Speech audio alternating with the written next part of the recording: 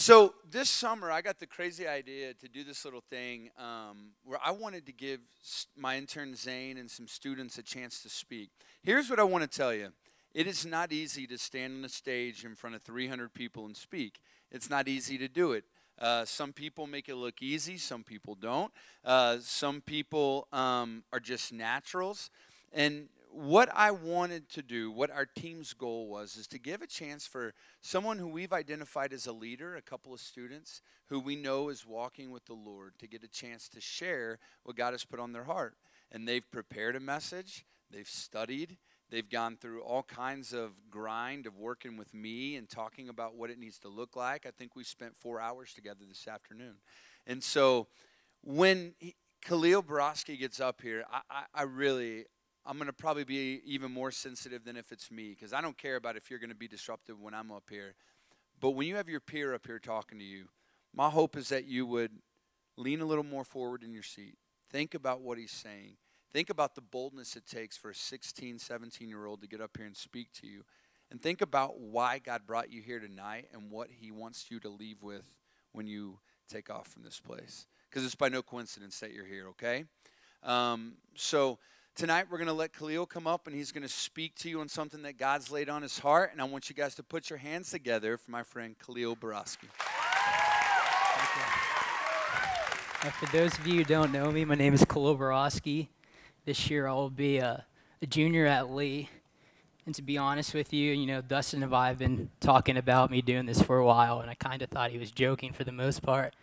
But I guess I'm right here, so he wasn't. Um, and like to be honest, it really hasn't clicked in yet. I'm pretty sure like here in a minute, you know, I'll finally realize that I'm up here. So, but I definitely encourage you guys to take notes because I definitely feel like this is something he wants you to carry with you, not just tonight, but you know, also after this. And um, yeah, this is my first time, so uh, give me a cut me a break a little bit if I freeze up. I'll do my best to you know avoid the note cards, but no promises. So um, let's just uh, start with this. Um, for those of you who don't know me, again, my name's Khalil Borowski. I, I got to share my testimony up here a few months back. But, you know, I've been struggling recently with just focusing on things that, that don't matter and missing missing the things that God wants to do with me because I'm focusing on petty things. And that's just what, you know, I wanted to talk about tonight, something that God has put on my heart. So this is a, just a personal testament, you know. I was uh, said yes to Jesus. I was baptized by eighth grade, 14 is pretty young.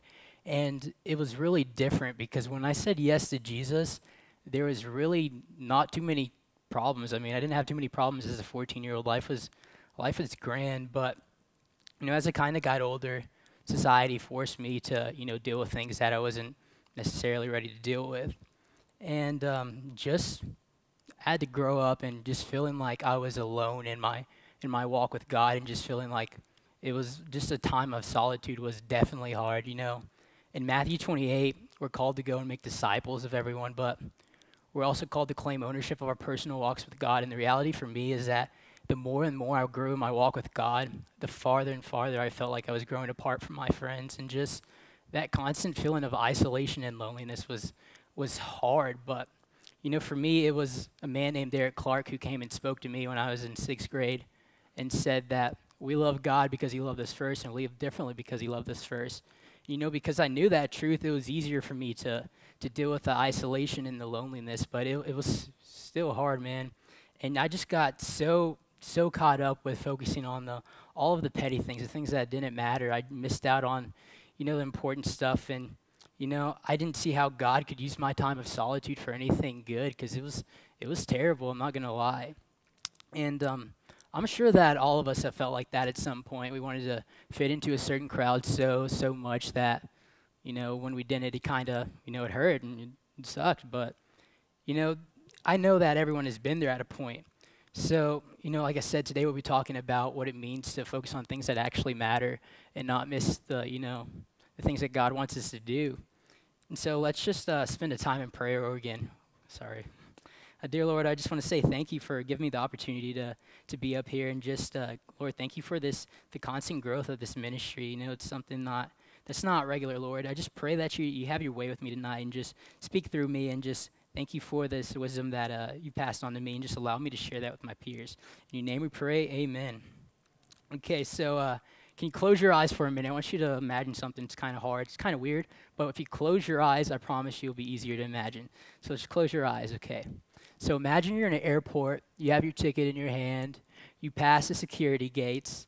You know, you start to notice that there's different type of people. There's people who are just getting off the plane. They're reaching for their cell phones. They're they're calling whoever it is that's picking them up, letting them know that, you know, I landed safe. I'll see you in a few minutes. There's people who drink at Starbucks having casual conversations. There's people who are seem to be running past you, pushing you out of the way because they think that they're late. And then there's you who just happens to be just on time.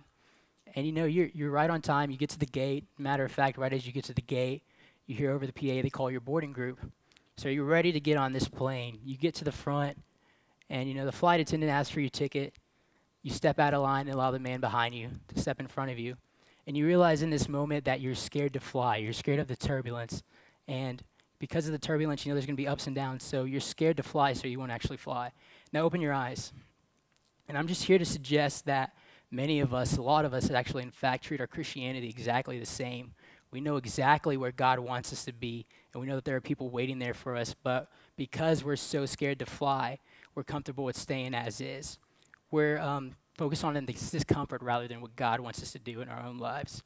And so I'd like you to turn to 1 Corinthians 4. If you don't have a Bible, use your phone, whatever works. It should come up on the screen too. And just for uh, those of you don't know, 1 Corinthians is all about Paul writing a letter to the church, letting the letting his children know. Basically, Paul founded the church in Corinth, and uh, he was just writing to them to rebuke their, you know, the extravagant living. And you know, Corinth at the time was a uh, they were balling essentially. You know, they were rich, they were a port in between Italy and Spain, so you know they were doing pretty pretty well off, and uh, they kind of just got carried away along the way. And so, uh, you know, Paul's writing to them, letting them know what they're doing wrong, and just trying to fix, you know, like a father trying to teach his children. So, in 1 Corinthians 3 and 4, up to this point, they're, they're arguing about, you know, who they're follow. There's, there's three apostles, Paul, there's Apollos, and then there's Peter. And basically little cliques are forming, and they're starting to choose who or not they're going to follow. And, you know, so let's, let's go to verse 9. Instead, I sometimes think God has put us apostles on display like prisoners of war at the end of a victor's parade, condemned to die. We have become a spectacle to the entire world, to people and angels alike. Our dedication to Christ makes us look like fools, but you claim to be so wise in Christ. We are weak, but you are so powerful. You are honored, but we are ridiculed.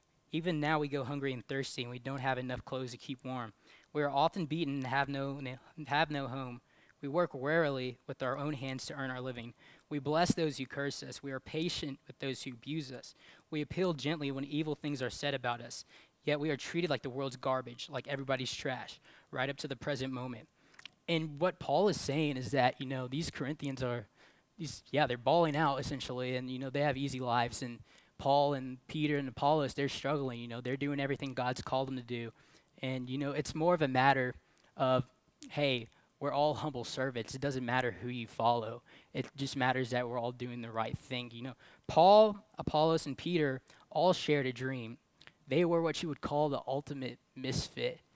Can we get the, the definition of a misfit on the screen?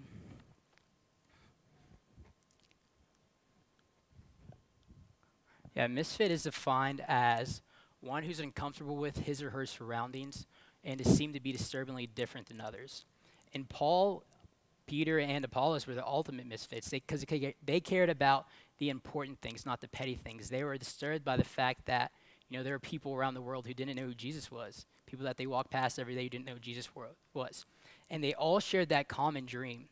And when I think about you know them sharing that common drink, I have to think of Joseph, who was one of the you know the ultimate dreamers. And some of you may know the story of Joseph better than me, but I'll go ahead and uh, tell you for those who don't. You know, Joseph was a a 17 year old boy, you know, not too too much older than we were, and basically uh, he was a tattletale.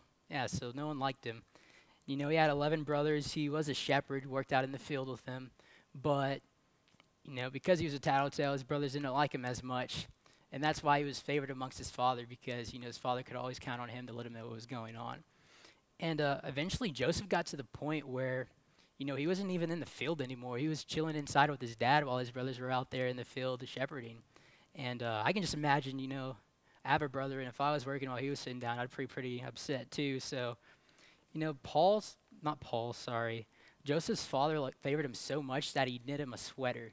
Um, you know, I, I, think of, you know, like a Coogi sweater, you know. But uh, he knit him a, a sweater, and uh, you know, I just pictured Joseph frolicking and just showing off his sweater. And um, interesting thing about Joseph was he had some some uh, crazy dreams. Um, God appeared to him, and you know, shared with him this dream. And one day he decides it's a good idea to tell his uh, his brothers what what went on in his dream. So imagine waking up at three o'clock in the morning and uh, waking everyone up in the household. Hey, guess what? I had a dream. Okay, okay, Joseph, what's, what was it about? Okay, let me go get my sweater on first. You know, it's kind of cold. And so, so sharing this dream. Oh, hey, I dreamed that, uh, you know, I was sitting there with my bale of wheat, and you were sitting there in your bale of wheat, but you were bowing down to me. Yeah, that's it. And then good night. And then, you know, later wake up. Hey, I had another dream. Not only were you bowing down to me, but the sun, the moon, and the stars were bowing down to me. Oh, um, yeah, that, that's, that's cool, I guess.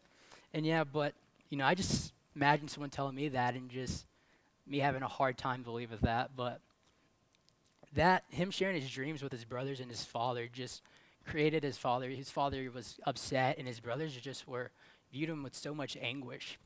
And you know, one day Joseph's sitting there, and his dad tells him to go check up on the, the brothers in the field. And so Joseph goes out to the field, and in the Bible it says, Genesis, uh, it says that uh, they see him from afar, and they look at him with so much anguish that they plot to kill him. And um, just imagining, know, how much would you have to hate your brother to, to plot to kill him? So, story goes, they put him in a pit, which is much like a ditch. And, you know, some Egyptians come along the road, and instead of killing him, they sell him into slavery because they think that would be, uh, that would be harder. So, here Joseph is in slavery. He starts out working for an Egyptian turns out that uh, he works his way up in the Egyptian's household and soon becomes head of the household. And once he's head of the household, he gets accused of doing something he didn't do. So he's forced to go back to prison. And, you know, all during out this process, Joseph is still holding on to the promise that, you know, he wants to honor God. And so while he's in prison, he gets a chance to interpret the dreams of his cellmates. So he interprets the dreams of his cellmates, and then his cellmate got the chance to work for Pharaoh after he got out. And uh, one night, Pharaoh was having problems interpreting his own dreams, so he heard about Joseph and called him up. And Joseph uh, interpreted his dreams great. Interpreted the Pharaoh's dreams as that there's going to be seven years of where food was plentiful, and then there were going to be seven years where food was scarce. And just uh, Joseph said that the only way he could, you know, ultimately fix the problem is by preparing food before, and so storing food up. And so Pharaoh was so pleased with him that he made him ahead of it. And you know, the story goes that, you know, when they're in the famine, Joseph's brothers appear to him, and uh, they didn't realize who he was at first, but Joseph knew who they were right off the back. And, um, you know, Joseph knew that his brothers' plans were to harm him, but he knew that God planned for his brothers to harm him in order to put him in a place of a position to, to prosper him. And just knowing that, he, um, you know, was able to forgive his brothers and just I don't know. I'm so uh, you know just envious of Joseph how easily he was able to do that. And one thing that's important for you to understand is that you are favored by your father. I can't get that off. I can't stress that enough. I know I don't know many of your parents. I don't know your mom. I don't know your dad. Some of you may not know your dad, but that's okay because you are favored by your father. And I promise you that when you understand that, you start to act differently. There's just a little more pep in your step, uh, for say. I mean, once you understand that, you know, you're mandated by God, things are a little different. You know, you, you talk with a little more authority, you walk with a little more authority. There's just a, a change in that demeanor. And um, I know some of you are getting bullied, and uh, my heart breaks for you, but you need to understand that you are you're favored by God, and you are no one's punching bag. And so, my heart breaks. My heart breaks for you knowing that you know you go face persecution at school. But I promise you that God will see you through that. And you need not to get caught up and worried about fitting in with that crowd because those people are not your friends. They will be the people you lead to Jesus, but those are not your friends. And so just understand that your current circumstance does not dictate what he's going to do in your life. I know a lot of you may feel like, oh, God has already talked to me, but you know I'm not where he said I'm going to be. So what what should I do with that? And just know that God's timing is it's it's unpredictable. I mean, grace is not logical at all. So and one thing that, you know, just I can't even fathom is how Joseph never complained. He never once complained. Even after everything he went through, he was, you know, he just held on to the promise that God was going to, you know, deliver him into where he said he was. And he just, that was that. And so also, just Joseph never looked for people to co sign on what God already signed off on. And I feel like a lot of times we do that with ourselves. We look for people to co sign off on our dreams. And I promise you that God has put those dreams there for a reason. So, I mean, even if your friends don't oh, hey, that's impossible. That's, that's not the case at all. God planted those dreams there for a reason. And um, just, just know that, oh man, I can't even fathom. Your, your dreams are, are God dreams. And some of you may have put your dreams up on the shelf somewhere, you know, in the recent past because you thought they were too big or they were too scary. I promise you, if your dreams are not scary, then they're probably not of God. So, uh, why does this matter? I'll tell you why it matters to me. You know, as a Christian, I'm bothered by a lot of things. I'm bothered by the fact that there are places in the world with unclean drinking water. I'm bothered by the fact that there are people in my neighborhood, in, in my city, in Midland, that are homeless who no one, is, no one is reaching out to. Um, I'm bothered by the fact that there are false prophets who are paying money to put up billboards, and people are seeing these billboards, and because of a lack of a good understanding and a healthy relationship with God, they're starting to commit suicide because people are putting up billboards and saying Judgment Day is near when in fact no one knows when Judgment Day is going to come. And just how these people, because of a misunderstanding with, of their relationship with God and who God is, you know, start to allow this to drastically affect their lives. You know, I'm bothered by the fact that I go to school with people every day who don't know God, yet I walk past them. And, you know, just a personal testament for me, I've always felt like I've been called to ministry, but it has been super easy for me to just let my fears get in the in the way of that call, you know, and then that calling, and um, just like, for instance, we had a ministry class at camp, and you know, I definitely wanted to take it, but you know, if whatever fears kept me from doing it, and just I kind of use Hebrews 12. You know, he talk, God talks about how you know, everything that happens is because it's going to endure our faith. And I feel like I use that as like, you know, a cop, like a get out of jail free card, uh, per se. So I'm not, I know that God has called me to ministry, but I haven't been actively pursuing it because I, I know that God's going to put me wherever He wants me at the end of the day. And I promise you, you can't do that. If you have to put your hand to the plow, even no matter what your gifts, no matter what gifts are given to you. A lot of people want to be, you know, athletes, lawyers, singers. You have to put in the work in. I mean, God's just not going to give you the gift. And so, um, you know, I have been at rock bottom, just like Joseph was. I've been in a time where, you know, I focused so much on my solitude and my loneliness that I couldn't focus on, you know, that call that God was giving me. I couldn't focus on ministry. And just there's been a lot of times where, you know, I just caught, get caught up feeling sorry for myself and just feeling like how I have to walk alone. It it, it does weigh you down. And I promise you, it's, it does keep you from what God's calling you to do. And um, when you realize that, that God will see you through your story, when you realize that God will see you through, your story is not so depressing anymore. So those of you who feel like you've had a rough upbringing, a rough, uh, a rough past, you have a hard family life, I promise you that when you realize that that's all part of God's story for you, it, it's not so depressing anymore.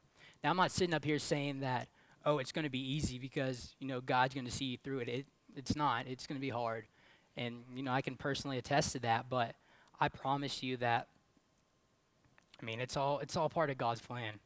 And so when I think about, I talked about misfits, Jesus was the ultimate misfit. He was so uncomfortable with the way things were. He got up off the throne, came to the earth, lived 33 years, and, you know, died as a result of his discomfort. You know, he was crucified on a cross. A cross cross that was made of wood, a wood that was taken from a tree that God had planted for that exact same purpose. And so the question is not to be or to be not a misfit. we are a misfit by default because we're all Christians. We should all feel like we don't belong. Does, does anyone like ever see that one thing that just bothers you? And it, and it bothers you because you feel like, you know, other people aren't bothered by it. They just walk past it. Is that anyone? Okay, I'm glad it's few. But uh, so, you know, all of us are discomforted by certain things.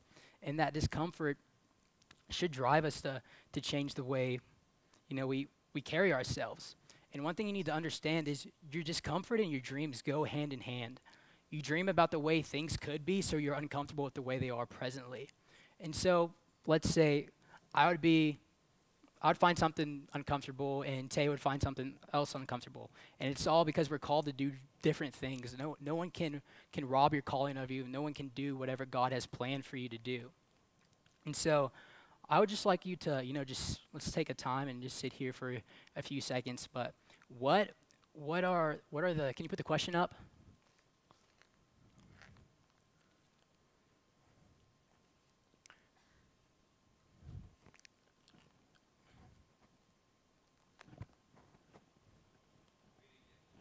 Okay. Oh, my bad. It's my fault. We have a great tech team, by the way.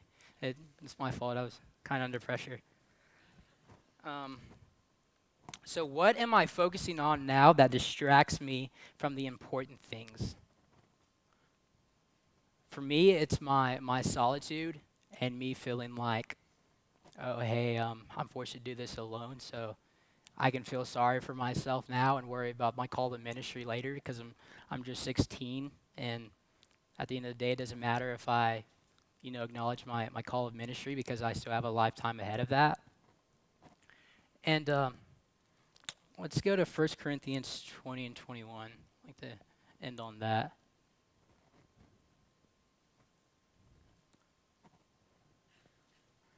Okay. I didn't give you 21. That's my fault again. Um, so, verse 20. Oh, where's it at? For the kingdom of God is not just a lot of talk, it is living by God's power. Which do you choose? Should I come with a rod to punish you, or should I come with love and a gentle spirit? and just that for me, man, I don't know if that's not, you know, a call to to get up and do something. I don't know what it is. He says, should I come with a, a rod to punish you, or should I come with a love and gentle spirit? And Paul is just reminding, you know, the Corinthians that, you know, it's not about which teacher you choose to follow. We are all humble servants working for the same exact cause. And uh, just just knowing that Paul, Apollos, Peter, Joseph all shared a common dream and that was to you know share Jesus with people. And they stayed true to that dream and held on to that promise that they were one day going to honor God.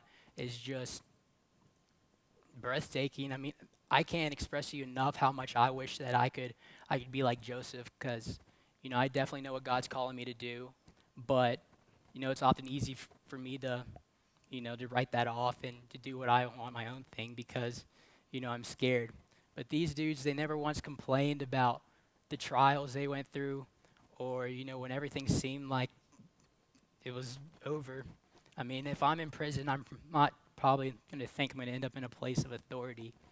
But just knowing that they, they clinged on to that, that promise that they will one day, you know, be able to, to honor God with their story is, is amazing. And um, see where I want to go with this just know that without the lows in life, we won't learn how to appreciate the highs. And if life is all the time just, you know, if we're on highs all the time, then we get we get high on ourselves and we don't think we need God. And the lows, you know, they're there to remind us that we are in dire need of a God.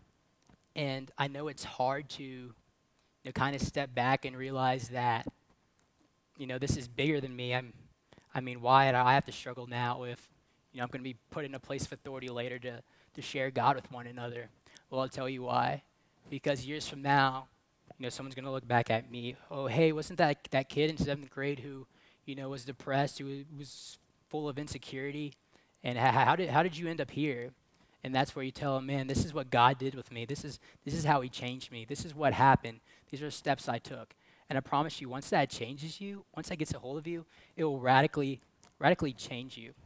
And um, let me re-stress the, the point that dreams and discomfort go hand in hand.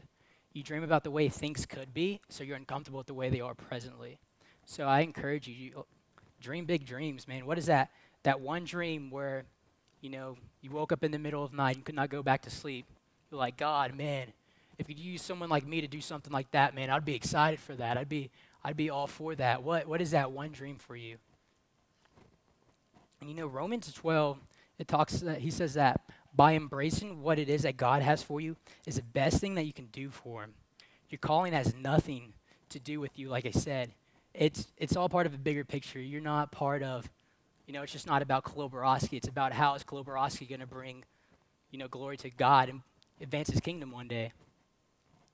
And so uh, the worst thing you can do is run from, from your calling that God has, you know, given to you. And I pray that, you know, you focus on that and just, uh, you don't have to answer the question now, but what is that one thing that, that draws your focus, that makes you, that makes you miss out on the important things that God is doing in your life? And uh, I'd like to leave you with a quote. The, he's a, a theologian, you might say, uh, Dr. Seuss. Yeah. You won't lag behind because you'll have speed. You'll pass the whole gang and you'll soon take the lead. And wherever you fly, you'll be the best of the best. And wherever you go, you'll top all the rest. I'm sorry to say so, but sadly it's true. The bang ups and hang ups can happen to you. Even a secular children's author knows that there's going to be ups and downs in life. But he also says that we shouldn't use uh, the fact that we're scared to take flight, we're scared of the turbulence, we're scared of the ups and downs to keep us from actually flying. And you know, God promises there will be ups and downs, but God is also only asking that we get on board. He's not asking us to pilot the plane.